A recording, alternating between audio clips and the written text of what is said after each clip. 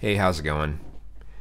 Well, since something was on my mind, I thought I might as well talk about it. Um, uh, on Facebook, I saw this.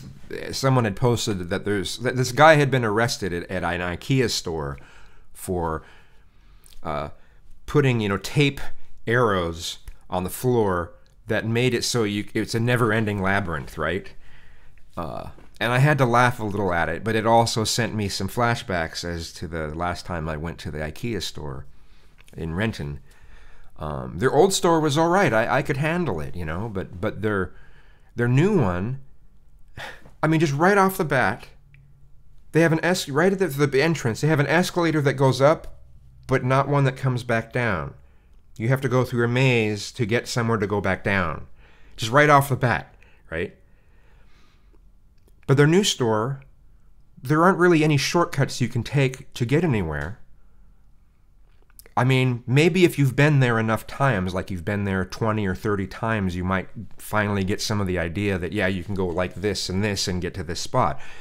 But their map, their map displays their store as a, as a straight line. I'm sorry, guys, you cannot turn a maze into a straight line. That's bullshit.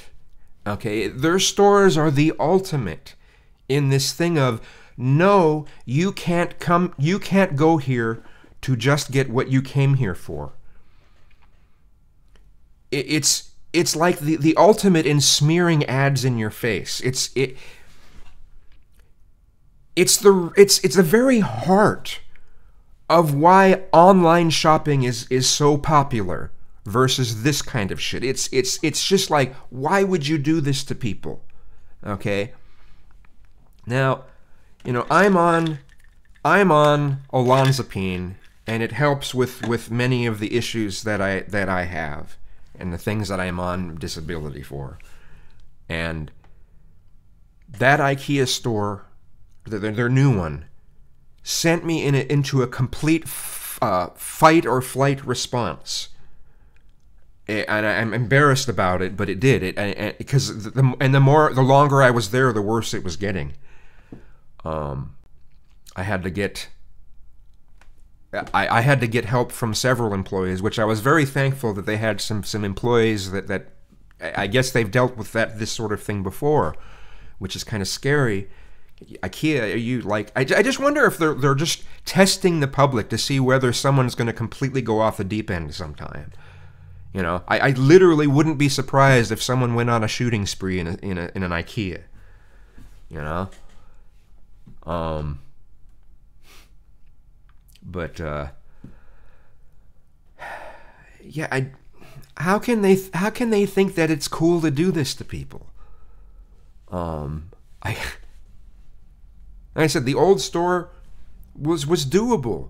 You know, they had a map that made sense you could do shortcuts. You could come there to, to, to get just what you want and not have to spend 45 minutes. You know, their new layout, they want you to spend as much time as possible in the store so you may buy more things. And I just think it's rotten. I, I, I, if, if I need anything from IKEA and it's not something that I can get in the warehouse section, I'll order it online. You know? If it's something that's in the warehouse section, at least that has a bit of rhyme and reason to it, you know.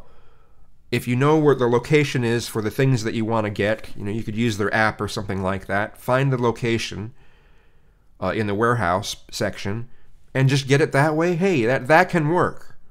But if it's anything that you have to go to the other part of the store, it's just not fucking worth it. Not, I, I, at least I, I can't handle it. Um,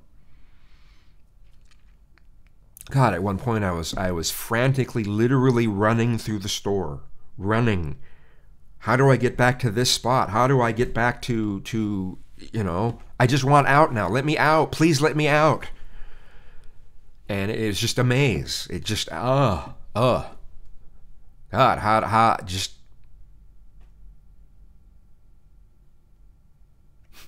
How did they ever think that was a good idea? Anyway.